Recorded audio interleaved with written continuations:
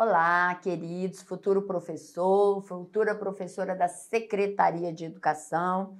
Estamos juntos aqui dando início, né, ao curso Estatuto da Criança e do Adolescente, a Lei 8069 de 90. O curso Pedagogia para Concurso está preparando um curso para você muito atualizado, cheio de exercício. E eu sou a professora Adriane eu venho trabalhar o Estatuto da Criança e do Adolescente com você. Já fui professora da Secretaria de Educação, já fui professora temporária, já fui professora efetiva e hoje eu sou servidora do TJDFT. Então, juntos, tá? Nós vamos entender o Estatuto da Criança e do Adolescente, vamos fazer questões e turma, não tem que errar Estatuto da Criança na prova. Primeiro, o seu edital, regra geral, Estatuto da Criança, é pequeno, a parte é pequena. Então, é fácil para você entender, memorizar os pontos mais importantes e gabaritar. E nesse momento que a gente está vivendo, nesse momento de violência contra a criança, contra o adolescente, e mesmo o adolescente praticando ato infracional aí nas escolas, tá? O Estatuto da Criança e do Adolescente vem aparecendo mais ainda nas provas. E o professor com essa responsabilidade grande, né, turma, de educador, tá? Aí a importância de conhecer o ECA para você passar no concurso e a importância dessa matéria para o seu dia a dia como educador. Veja aqui, na tela, turma, eu coloquei os quatro pontos aqui do seu edital. Já tem um bom tempo que a Secretaria de Educação vem cobrando só esses pontos aqui no ECA, tanto para o curso de é, temporário quanto para o concurso de efetivo. Então, o seu edital, ele gira em torno de quê? O seu edital gira em torno das considerações preliminares, tá? Das medidas pertinentes aos pais ou responsável, a parte de conselho tutelar, dos direitos fundamentais, essa aqui é a maior parte, tá? Direitos fundamentais, onde nós vamos conhecer o direito à educação, certo? O direito ao respeito, à dignidade. E mais, turma, eu já destaco aqui para vocês quais foram os artigos que foram alterados em 2022 pela Lei Henri Borel. Eu já trouxe os artigos aqui. Justamente quando a atualização é recente, junto comigo aqui, então, só para entender um, como você vai começar a estudar. Quando a atualização é muito recente, grande chance da banca cobrar em prova, certo? Então, a Lei Henri Borel, que é a lei do combate, da prevenção à violência doméstica praticada contra criança ou adolescente, tá? Ela mexe, essa lei, Henri Borel, mexeu no Estatuto da Criança e do Adolescente, alterando esses artigos que eu destaquei para você. Então, quando você pegar a letra da lei, você já vai destacar esses artigos, porque são artigos novos. Perfeito? Bom, turma, então veja o seguinte: como que nós vamos desenvolver o nosso curso aqui? Nós vamos estudar por partes. Nós vamos começar aqui com as considerações preliminares. Nós vamos engatinhar mesmo no ECA devagarzinho para você começar a entender e depois gabaritar qualquer tipo de questão, tá? No final do nosso curso, eu vou deixar uma apostila completa, tá? Essa apostila é para você seguir a videoaula, tá? E completando no seu material, que aí você fica com a apostila completa, tá? Para ir sempre estudando. Então a apostila vai ficar no final, vinculada para você no final. A cada vídeo você vai entendendo, vai completando, depois você fica com o material todo pronto, certo? Saiu o edital, você já tem o material pronto, você vai ganhar tempo, tá? Para depois estudar outras matérias, certo? Então, no nosso material, vamos juntos aqui, turma. Eu coloquei para você o seguinte: como estudar a Lei 8069 de 90 para o concurso da Secretaria de Educação. Aí veja, você vai começar lendo do artigo 1 ao artigo 6, que nós vamos entender, é o nosso início aqui, tá? Depois, turma, os direitos fundamentais, certo? Depois dos direitos fundamentais, medidas aplicadas aos pais ou responsáveis e também medidas de proteção a parte de conselho tutelar. Então, vai ficar muito fácil aqui para a gente é, andar no edital todo, certo? Então, vamos juntos, já podemos começar então o nosso curso. E eu começo aqui no ponto 1 um, com as considerações preliminares. Como eu havia falado para você lá atrás, turma, do artigo 1 do ECA ao artigo 6 você vai encontrar as considerações preliminares. E aí que eu já destaco para você o artigo 2 O artigo 2 é um artigo muito importante, porque ele vem definindo para gente quem é criança, quem é o adolescente e quem é o jovem adulto, certo? Então, turma, esse artigo 2 ele é muito importante, tanto é que no último concurso da secretaria ele caiu em prova e pegou muita gente. Então veja o seguinte: para a prova de ECA, você vai guardar assim: criança nos termos da lei é aquela de 0 a 12 anos incompletos. Incompletos. Essa é a criança. Criança é aquela que tem entre 0 né, e 12 anos incompletos. Então, junto comigo, turma, veja o seguinte: ele tem 11 anos, tá? 11 meses e 29 dias. Ele é considerado ainda criança. A zero hora desse dia, tá? Ele completa 12 anos de idade. Aí ele já passa a ser adolescente a partir da, da meia-noite, certo? Então, é a idade dele, a data do aniversário dele que vai justamente determinar isso aqui. Então, ele tem 11 anos, 11 meses e 29 dias. A zero hora desse dia, ele passa a ser o que? Um adolescente. Então, criança é entre né, 0 e 12 anos incompletos. E aí vem a dica fundamental, que inclusive já caiu no concurso da secretaria. Turma, criança que está em situação de vulnerabilidade, ela só pode receber medida protetiva. Então você vai guardar assim: criança é proteção. Ela só pode receber medida protetiva. Nós vamos ver que o adolescente pode receber medida protetiva, mas ele pode receber também socioeducativa, diferente da criança criança só pode receber medida protetiva. Por exemplo, se uma criança de 10 anos pega uma faca, coloca dentro da mochila, leva para a escola essa faca e lá na escola ela fere um colega de sala, essa criança praticou um ato infracional, certo? Ela lesionou alguém, praticou um ato infracional mas por ser criança, ela não vai poder ser privada da liberdade. Por ser criança, ela só pode cumprir medida protetiva, certo? Então guarde isso aí. Voltando para o nosso material, então, quem é o nosso adolescente? Turma, o nosso adolescente é aquele entre 12 e 18 anos. Veja que a lei, no artigo 2, turma, ela não colocou aqui incompleto, igual ela colocou para criança, porque ela usou entre. Mas o raciocínio é o mesmo. Ele tem 17 anos, 11 meses e 29 dias. Ele é considerado ainda adolescente. A zero hora aí ele completa a maioridade penal. Tá claro?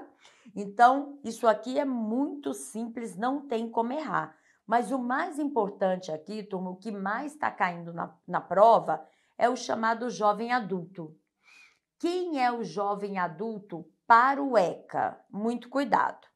O jovem adulto para o Estatuto da Criança e do Adolescente, tá?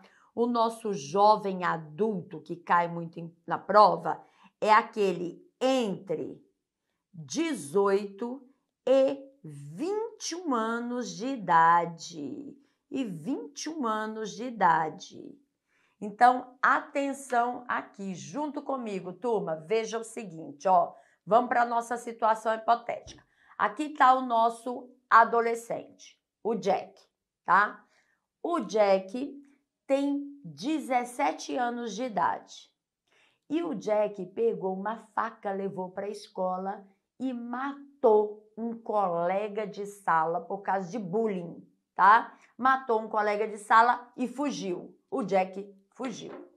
Ele tinha 17 anos de idade, tá? Praticou um ato infracional análogo a um homicídio, matou alguém e fugiu. A polícia está investigando, está investigando, certo? Só que a polícia encontrou agora o Jack. Mas quando a polícia encontrou o Jack, ó, o Jack cresceu, né, Tomás? Encontrou o Jack, o Jack já tinha mais de 18 anos. O Jack já está agora com 19 anos de idade, certo? A minha pergunta é: mesmo assim, eu posso aplicar o Estatuto da Criança e do Adolescente para o Jack? Sim. Porque quem é o Jack agora? Agora ele é o jovem adulto. E essa lei, turma, o Estatuto da Criança e do Adolescente, ela diz para gente que essa lei poderá ser aplicada excepcionalmente para o jovem que tem entre 18 e 21 anos de idade. Mas quando é que o ECA atinge esse jovem com essa idade? quando ele praticou um ato infracional quando ele era um adolescente, tá? Essa é a ideia do nosso jovem adulto. Então, o ECA só atinge o jovem adulto, essa pessoa aí entre 18 e 21 anos de idade, se ele praticou o ato infracional quando adolescente, certo? Então, turma, se aparecer em prova dizendo assim, se ele completar 18 anos dentro da internação, ele tem que ser necessariamente liberado, Jack? Não, Jack. Você pode ficar até 21 anos de idade dentro da internação, certo, turma? Então, para a prova, você vai levar isso aí para a prova.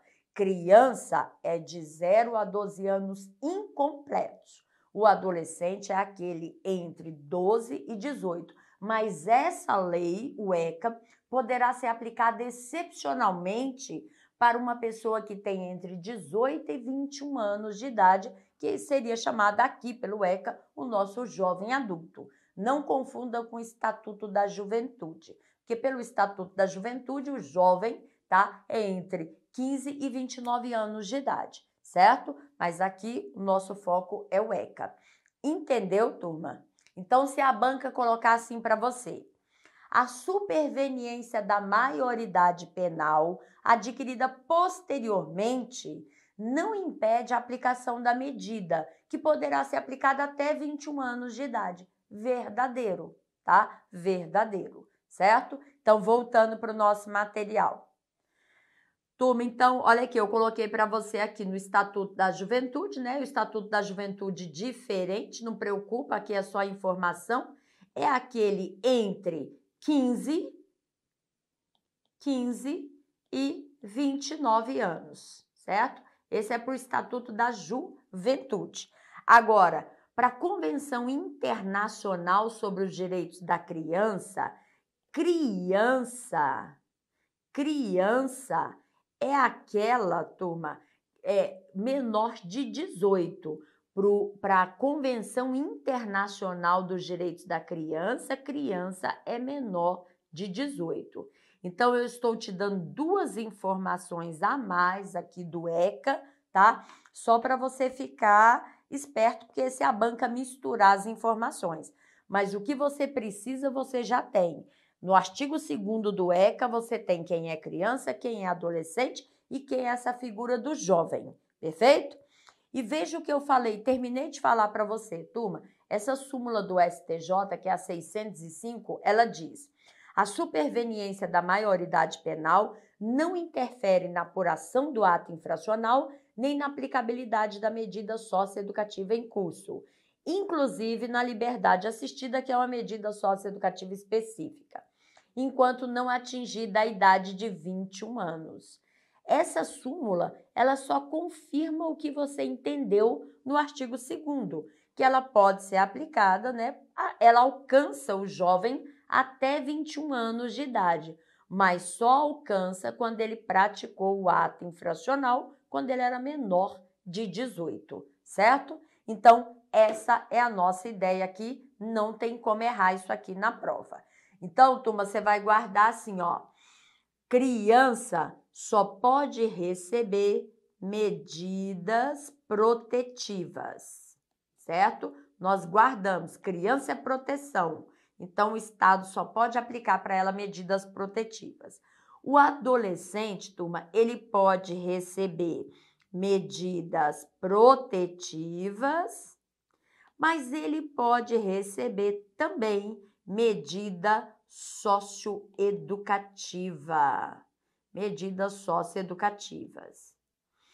Olha um exemplo para ficar bem claro, turma, junto comigo. Aquele adolescente lá em São Paulo que matou a professora, feriu a outra professora, né? Praticou homicídio, praticou tentativa de homicídio.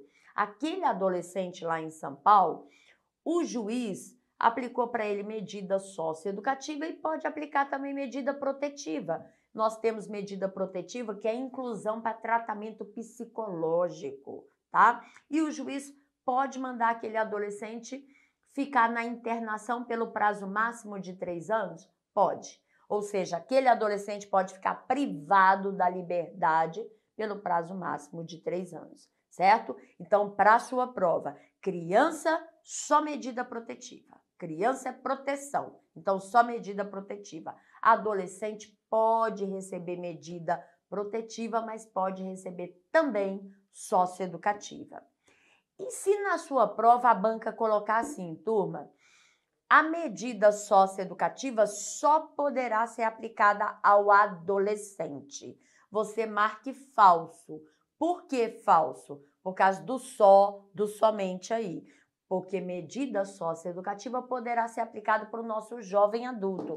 O nosso Jack, com 19 anos de idade, ele praticou o ato infracional quando ele era um adolescente. Agora ele é um jovem adulto. Ele foi encontrado pela polícia com 19 anos de idade.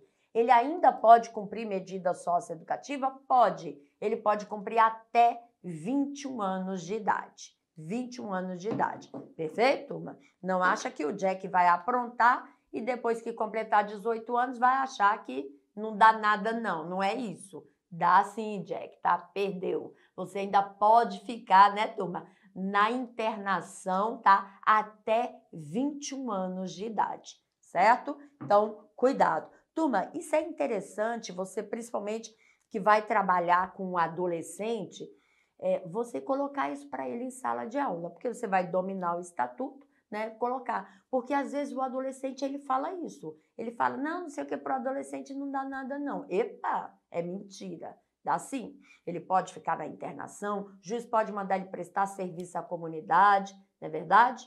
Então, avante aqui comigo. Então, voltando para o nosso material, ficou bem claro. Criança, só medida protetiva, adolescente pode protetiva, pode socioeducativa, tá? E a, e a não vai ser aplicada só para o adolescente, poderá ser aplicada ao nosso jovem adulto.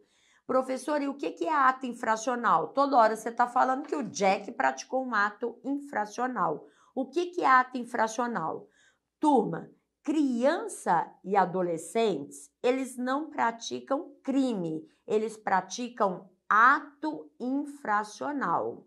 E o que, que é ato infracional? Ato infracional é a conduta, é a conduta descrita como crime ou como contravenção penal, ou como contravenção penal, certo? Então, aquela ideia que eu falei para você, vamos juntos aqui naquela ideia que eu falei para você, ó. O adolescente foi ali na esquina, ele te, pegou uma arma de fogo, foi ali na esquina e praticou o roubo de um veículo. Esse adolescente, turma, ele não praticou crime, ele praticou ato infracional porque ele é menor de 18. Então, ato infracional é uma conduta que já está descrita como crime ou como contravenção penal. Mas por ser menor de 18 anos, a gente não diz que ele praticou um crime, a gente diz que ele praticou ato infracional. Ele praticou um ato infracional, aquele menino em São Paulo que matou a professora. Ele praticou um ato infracional análogo ao homicídio. Praticou ato infracional análogo à lesão corporal grave, à tentativa de homicídio, certo? Então guarde isso aí, o que que é o ato infracional. Avante, turma, ó. Quem poderá ser sujeito ativo de ato infracional? Ó a pergunta. Quem pode ser sujeito ativo de ato infracional? Ou seja, quem pode praticar ato infracional? Turma, fácil, né? Ato infracional pode ser praticado pela criança, mas pode ser praticado também pelo adolescente. Turma, não confunda. O jovem adulto não pratica ato infracional. Nosso jovem adulto do ECA não pratica ato infracional. O jovem adulto do ECA é aquele maior de 18 já. Então, se essa pessoa maior de 18 matar alguém, é crime. É crime. Quem pratica ato infracional é só criança e adolescentes, certo? Então, se por acaso a banca tiver uma questão lá dizendo somente o adolescente é sujeito ativo de ato infracional.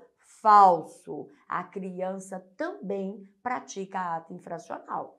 Imagine, né, Toma, tá lá uma criança em determinado local com 11 anos de idade e com uma faca. Chegou lá, a pessoa estava com o celular, chegou, perdeu, me passa o celular, né? E a pessoa passou o celular. Essa criança de 11 anos, ela praticou o quê? Ato infracional, porque a conduta que ela praticou já está descrita lá no Código Penal como roubo, né? Mas como ele é menor de 18 anos, a gente diz que ele praticou um ato infracional. Então, só pratica ato infracional criança e adolescente. Perfeito? Muito cuidado com isso aí. Avante, turma, agora que você já entendeu quem é criança, quem é adolescente, quem é um jovem, olha essa questão aqui da Secretaria de Educação quando a banca era o CESP. Uma questão bem fácil do nosso artigo 2 do ECA, que você já domina e domina bem. A, a, banca disse o seguinte, turma, com relação às idades da criança e do adolescente estabelecidos pelo ECA, pelo ECA, assinale a alternativa correta. A letra A diz: criança é a pessoa com até 12 anos de idade completos. Completos não, incompleto. Então, errada a primeira. Criança é a pessoa com até 12 anos de idade incompletos. Perfeito, de graça a questão, né? Letra C. Adolescente é a pessoa entre 13 e 18 anos de idade incompletos. Adolescente é aquele entre 12 e não 13, né, turma? Errado.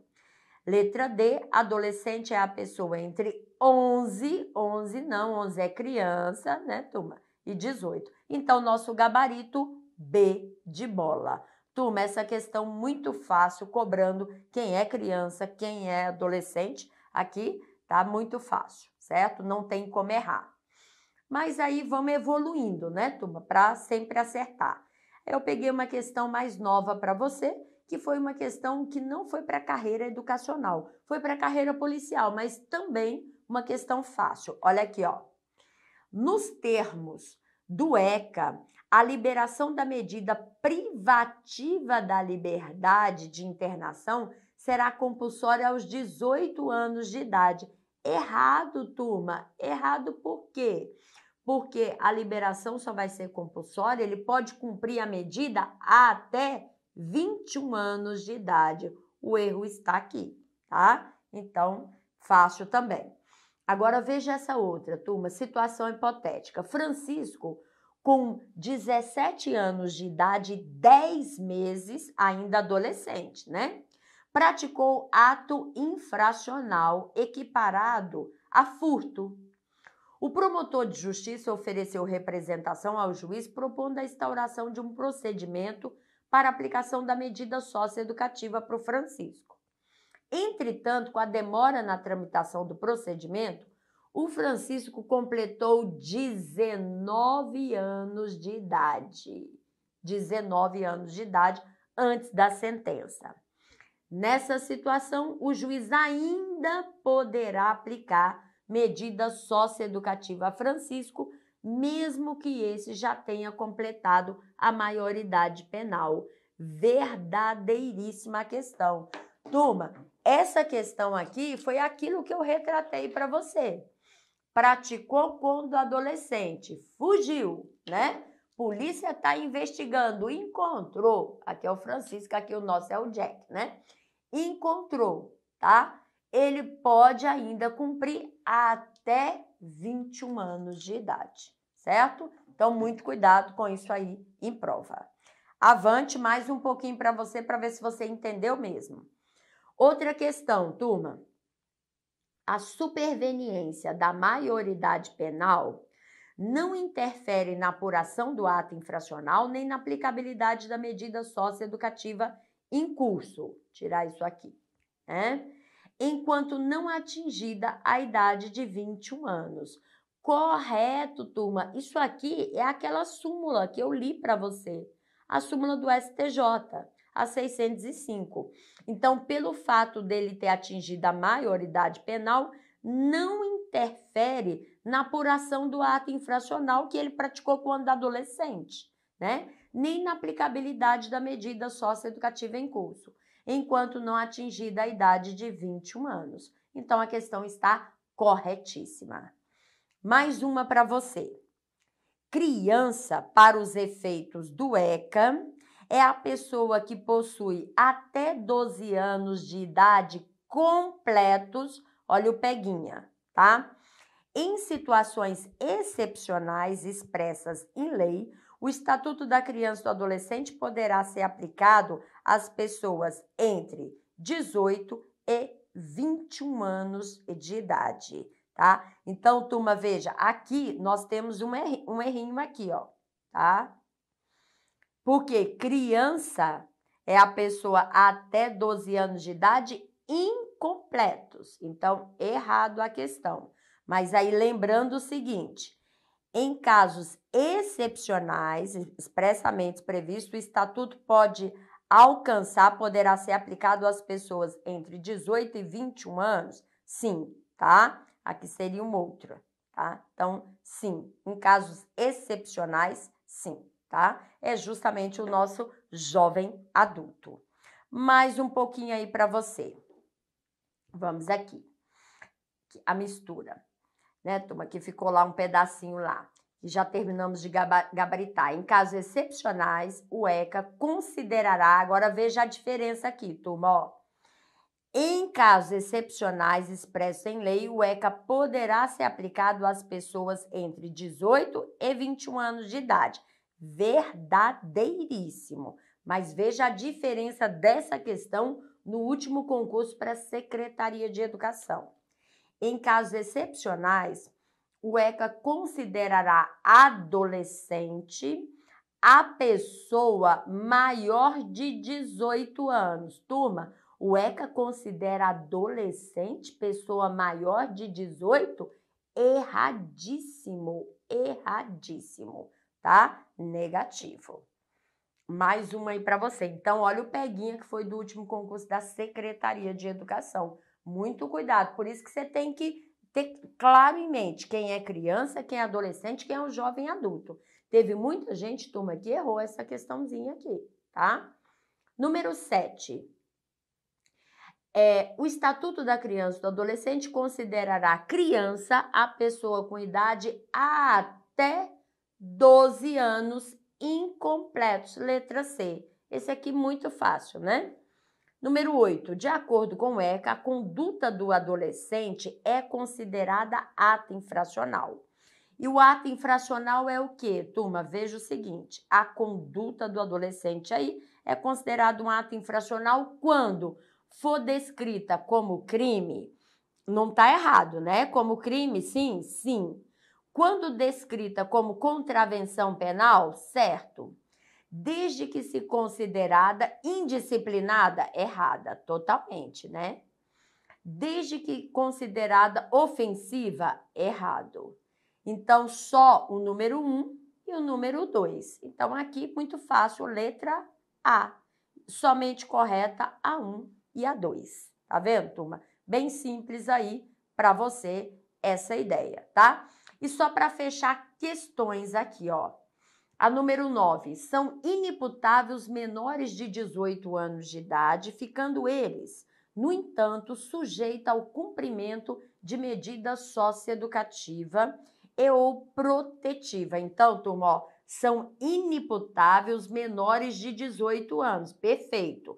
Menor de 18 anos, a Constituição Federal, o Código Penal, né, diz que eles são inimputáveis, os menores de 18, ficando eles, no entanto, sujeitos ao cumprimento de medidas socioeducativa ou medidas é, previstas no ECA. Corretíssimo. E aqui a banca diz: são inimputáveis os menores de 21 anos. Epa, errado, né, turma? Inimputável é menor de 18. Menor de 21, não, já erradíssimo aí, certo? Então, junto comigo aqui, turma, nesse primeiro bloco, nós fechamos o primeiro bloco, você entendendo muito bem, fazendo qualquer questão, quem é criança, quem é adolescente, né? Quem é o nosso jovem adulto e muito cuidado quando a banca pergunta a letra da lei. Naquela questão que eu analisei com você da Secretaria de Educação, Muita gente errou, turma, por causa de interpretação. O ECA não considera adolescente o maior de 18. O ECA atinge a pessoa maior de 18 quando, quando ela era uma adolescente, praticou o ato infracional e agora com mais de 18 anos ela pode cumprir a medida até 21 anos de idade. Perfeito? Tá? Então, fechamos o nosso primeiro bloco até o nosso segundo bloco.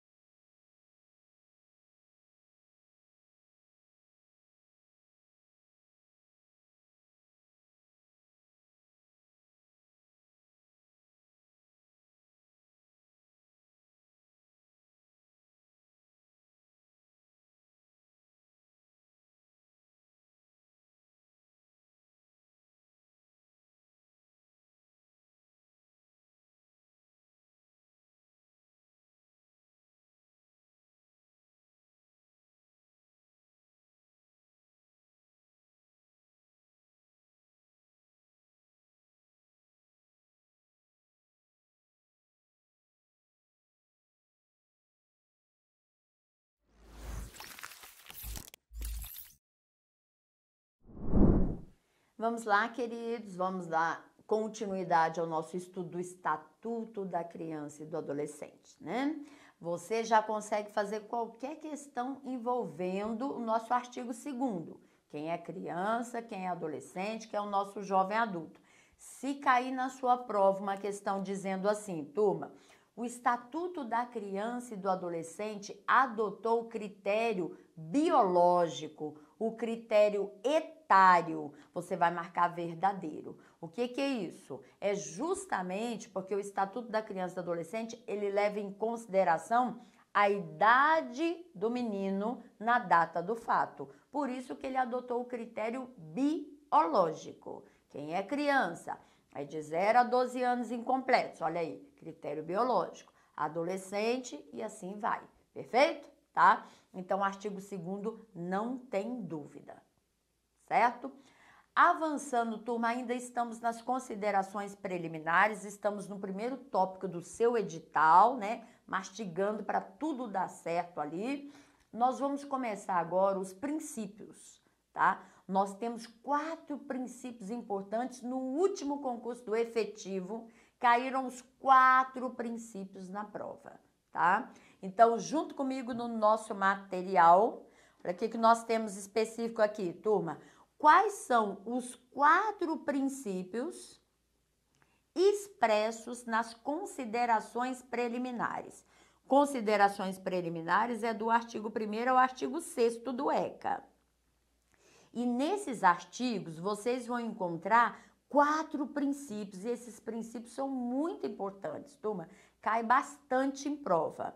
E eu começo com o princípio mais importante de todos. E esse princípio ele é tão importante que ele abre o ECA. Se você pegar o artigo 1 do ECA, ele começa com o princípio da proteção integral. Princípio da proteção integral. Primeiro detalhe, turma, o que, que significa proteção integral? Junto comigo, ó, bem simples. Proteção integral significa que toda criança, todo adolescente, eles são sujeitos de direito, ou seja, eles têm os seus direitos fundamentais. Nós, adultos, não temos nossos direitos fundamentais. Vocês estudam, inclusive, o artigo 5 da Constituição Federal, não é verdade? A criança, o adolescente, também tem seus direitos fundamentais. Só que aqui, turma, eles têm direitos fundamentais específicos. Tanto é que do artigo 7 do ECA até o artigo 69 vem falando só sobre os direitos fundamentais de uma criança e de uma adolescente, que inclusive está no seu edital. Nós vamos estudar esses direitos fundamentais aqui, certo? Então, falou em princípio da proteção integral, você já acende a luz tá? Que proteção é essa? Aí você fala, ah, muito simples. O princípio da proteção integral significa que toda criança, todo adolescente, eles são sim sujeitos de direito. Tem o direito à educação, o direito à saúde, o direito à vida, o direito ao respeito, à dignidade, o direito à convivência familiar e comunitária, certo? Então, muito cuidado. Falou em princípio da proteção integral, atenção, turma. E esse princípio é tão importante que ele está na nossa Constituição Federal. Veja aqui comigo no material, olha. No material eu coloquei para você o artigo 1 do ECA que diz assim: Esta lei dispõe sobre a proteção integral à criança e ao adolescente. É a fase da proteção integral que começou com a nossa Constituição Federal de 1988, tá? Sofreu grande influência aí da Convenção sobre os Direitos da Criança. E o Ministério Público teve um papel muito importante, né, turma? Fundamental para que fosse garantida uma, uma absoluta proteção para a criança e para o adolescente. Então, dessa forma, com a inauguração aí da fase da proteção integral, Toda criança, todo adolescente passam a ser sujeitos de direito, certo? Isso aqui, toma esse princípio aqui, inclusive em uma redação, ele é muito importante. Numa redação pode aparecer lá para você, né? Falar sobre criança e adolescente. Olha, esse princípio é o mais importante. O resto vem daí. O princípio da proteção integral, tá? Ele que vai nortear o ECA de ponta a ponta. Então, toda vez que eu falar aqui proteção integral, você vai lembrar. Proteção integral no Brasil nasceu com a nossa Constituição Federal de 1988.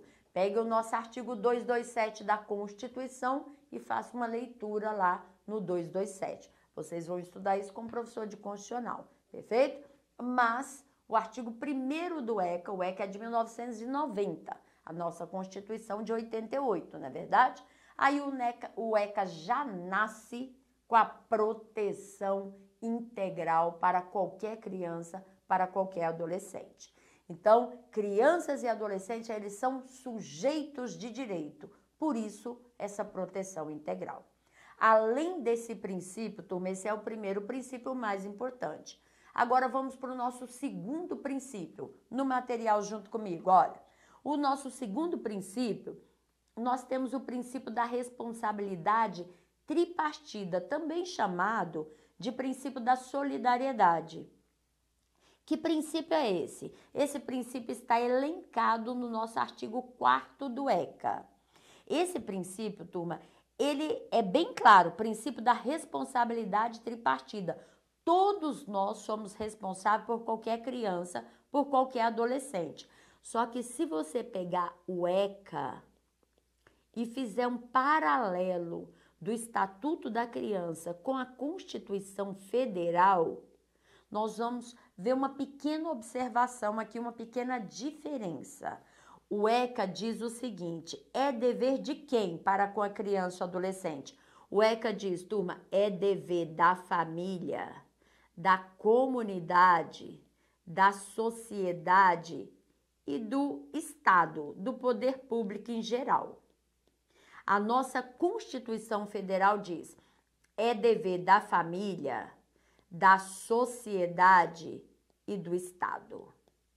Então, olha a diferença aqui. No ECA você tem comunidade expressa, na Constituição não. Vamos conferir? O artigo 4 do ECA diz: é dever da família, da comunidade, da sociedade em geral, do poder público assegurar com absoluta prioridade a efetivação dos direitos referentes à vida, à saúde, alimentação, educação, esporte, o lazer, a profissionalização, a cultura, a dignidade, ao respeito, a liberdade e a convivência familiar e comunitária. Aí vem citando os direitos fundamentais de uma criança, de uma adolescente. Então, toma cuidado na prova com essa diferença aqui.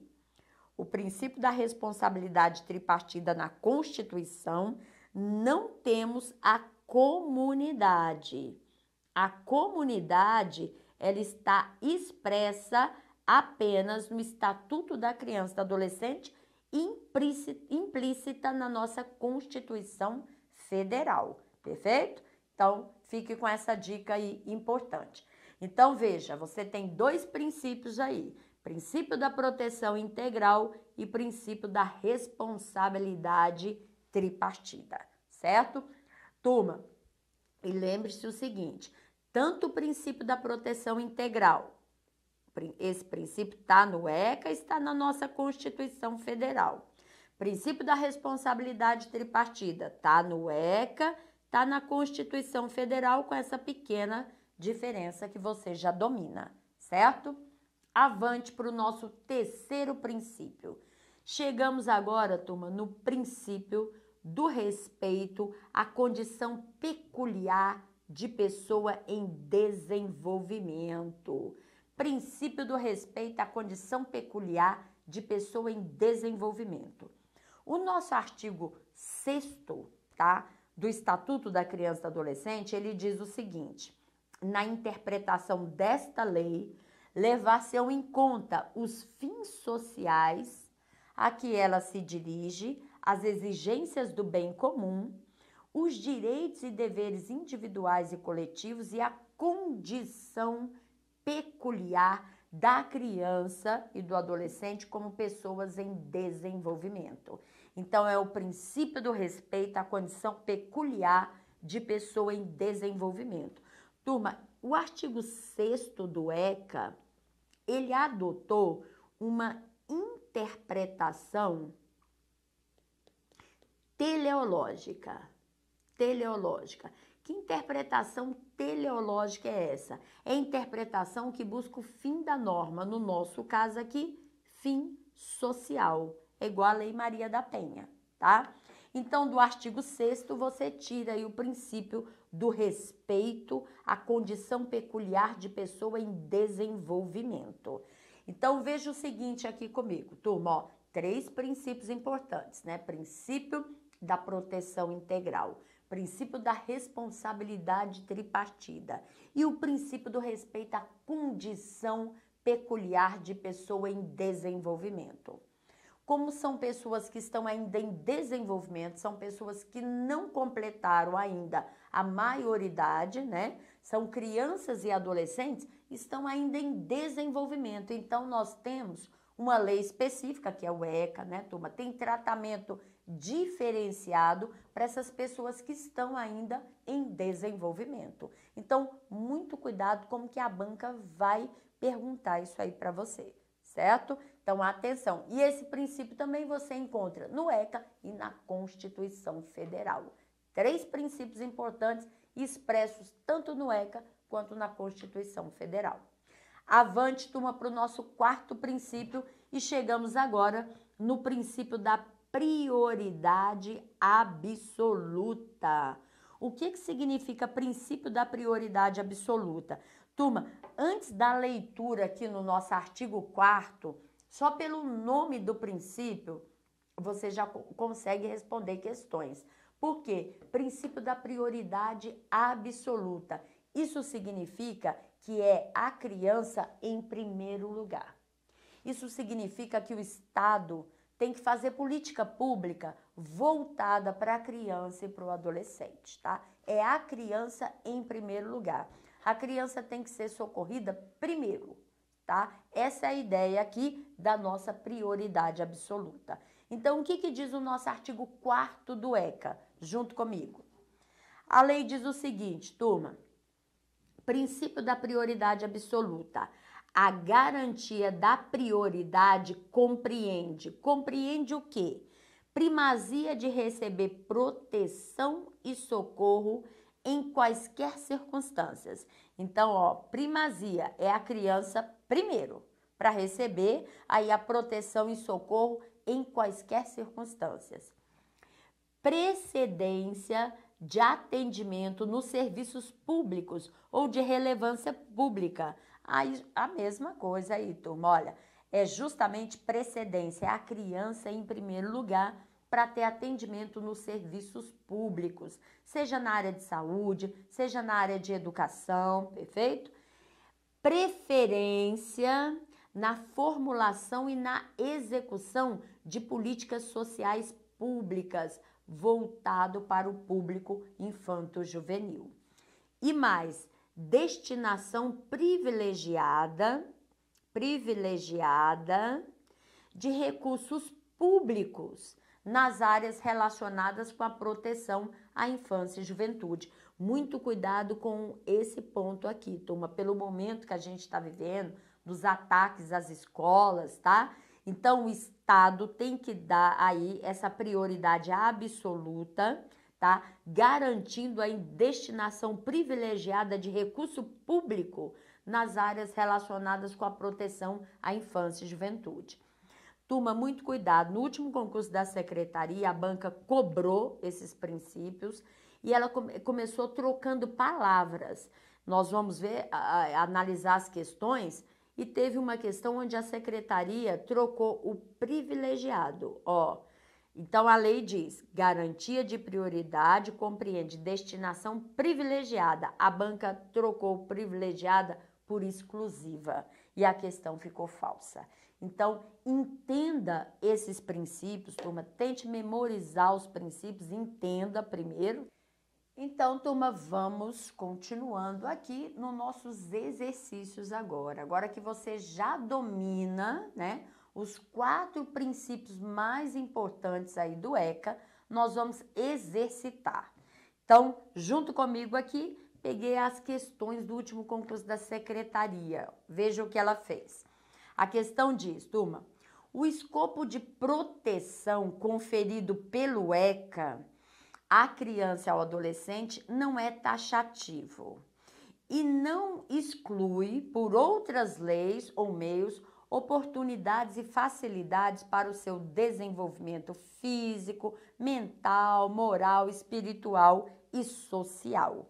Corretíssimo, né, turma? Correto. A questão eu coloquei aqui para você, ó, princípio da proteção integral. Criança e adolescente, eles são sujeitos de direito. O ECA não fez exclusão de outras normas protetivas. Pelo contrário, o nosso artigo 3 informa que são assegurados, inclusive, os direitos previstos em outras leis, em outras leis. Por isso que a questão está corretíssima, certo? Tá? Então aí não é um rol aí taxativo Inclusive, turma, junto comigo aqui, a gente tem o ECA, mas nós temos um microsistema, tá? Em torno aí do ECA. Por quê? Além do estatuto, nós temos a lei do bullying, né? A lei de 2015 do bullying específica, nós temos a lei de alienação parental, nós temos o sistema de proteção à criança ou adolescente que foi vítima de um crime ou que testemunhou o crime. Nós temos ainda, turma, a nossa lei nova, a lei Henri Borel. Então, é todo um sistema de garantia de proteção à criança ou adolescente, certo? Então, ela não exclui outras leis, não, tá certo? O ECA não traz esse rol aí taxativo, esse rol fechado, tá? Então, avante, vamos lá. Então, a banca já cobrou aí para você essa proteção.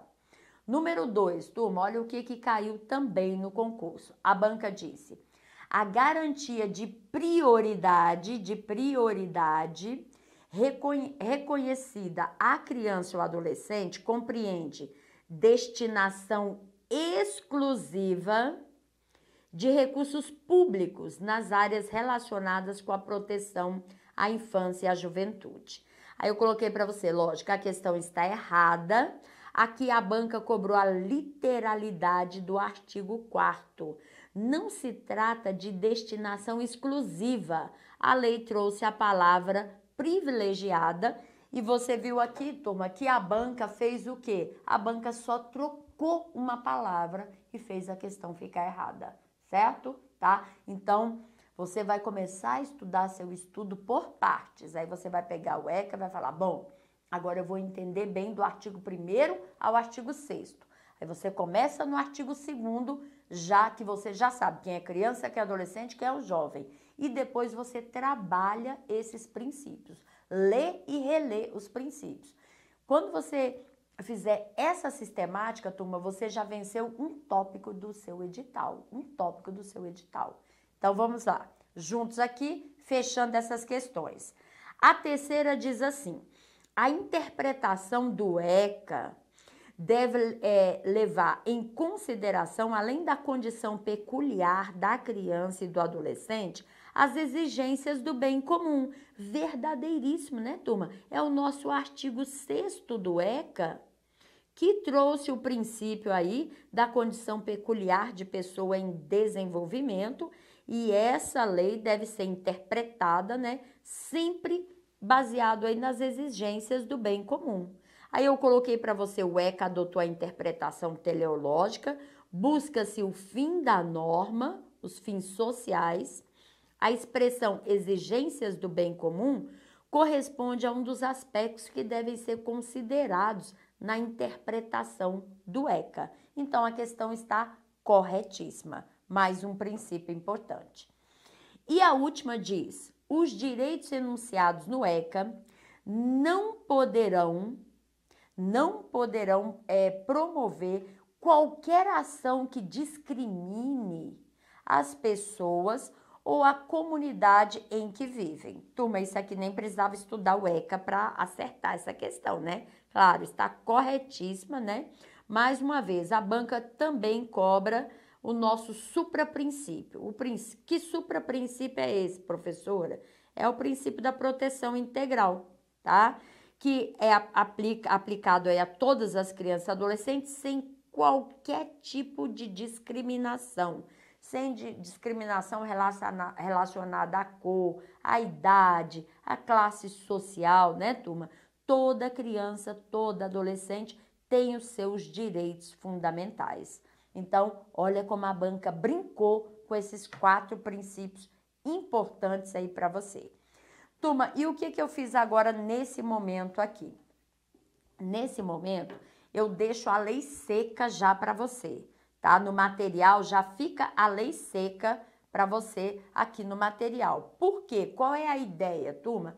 A ideia é que depois você não precisa ficar procurando aí os artigos, então você vai começar a estudar o primeiro ponto do seu edital. O primeiro ponto do seu edital fala considerações preliminares do artigo 1 ao 6 do ECA. Aí ele já vai ficar aqui prontinho para você. Olha aí, ó.